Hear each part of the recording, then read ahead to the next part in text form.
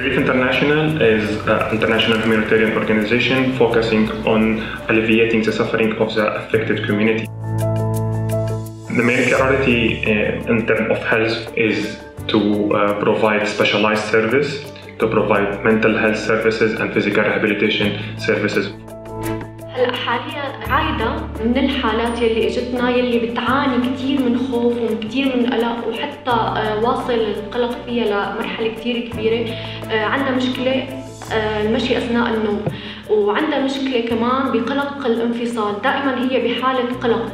أبي ممكن يموت أمي ممكن تموت وهذا الشيء بلش معها من لما شافت الأحداث بسوريا وطلعت على تركيا. يعني حوالي تقريبا خمس سنين دائما يوم عن يوم عم تتفاقم هاي المشكلة عندها وعم تكبر مخاوفها.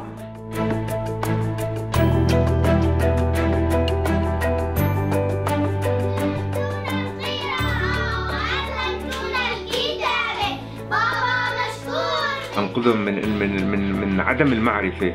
ومن التسيب والانحدار نحو السوقية يعني وولاد الشوارع والمشاكل اللي ممكن تصيب هالاطفال هاي في المرحله هاي فبالتالي هذا بيعطيني دافع إنه كثير كبير إنه أنا أرجع أعيد وإنه أطرح لأصدقائي اللي عندهم إمكانية لأنه يتطوعوا ويجوا يساهموا في هذا المركز. فهي كثير شغلة كثير كبيرة. Through Echo Funding, we've been able to support and expand a number of our health services. Thankfully, our donors recognize the, the need for these specialized services.